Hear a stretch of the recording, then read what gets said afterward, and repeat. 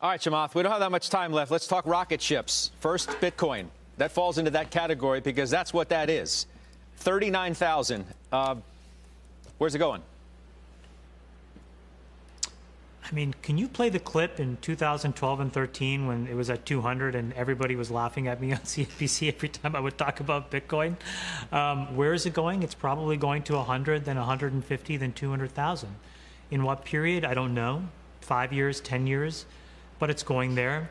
And the reason is because every time you see all of this stuff happening, it just reminds you that, wow, our leaders are not as trustworthy and reliable as they used to be and so, just in case, we really do need to have some kind of you know insurance we can keep under our pillow that gives us some access to an uncorrelated hedge. And it's going to eventually transition to something much more important. But for right now, you're just getting all these data points that prove this thing. It's just the fabric of society is frayed. And until we figure out how to make it better, it's time to just have a little uh, schmuck insurance on the side and everybody's running in. It's just an incredible thing. I could never have imagined it. Good to be a schmuck, I guess, if you got if you got in early and it goes to where you think it's going to go. Uh, the other rocket I want to talk to you about, uh, and I know people are interested in this, Virgin Galactic, uh, the company. Uh, maybe it was your first SPAC deal. I think it was. You sold a, a fair amount of yeah. that, 38% or so, 40% around there. Why?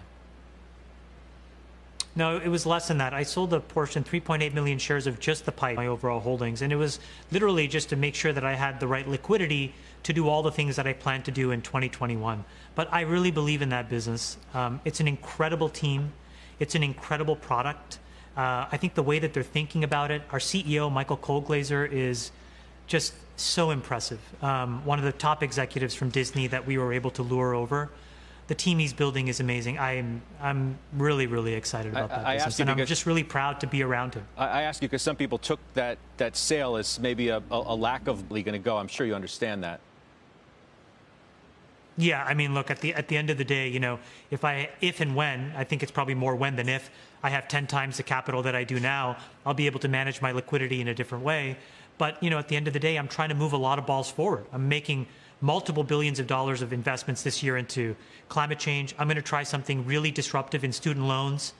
Um, and all of that takes money. And so, you know, I just have to be able to manage um, everything in my infrastructure to mm-hmm. make sure that I can do all of these things. And that's what it was. You, you tell us about your next big thing when you're ready. It's good having you as always. You be well. Happy New Year. We'll see you soon. Thanks, Scott. Happy New Year.